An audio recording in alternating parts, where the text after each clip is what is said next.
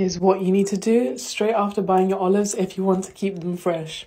So here we just put all our olives in a big bowl. Now we're separating it into two. One of them is the olives that we're going to be eating right now, and the other ones are the ones that we want to preserve fresh.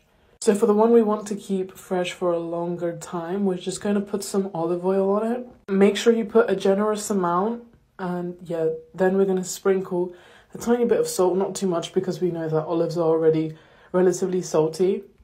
Give that a good mix. So this is going to help the olives stay fresh for a longer time.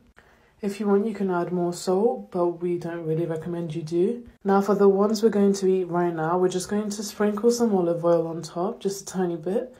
And then we're, gonna sprinkle the same amount of salt that we did to the last one. Give that a stir. And the difference for this one is that we're going to add some diced leek to it.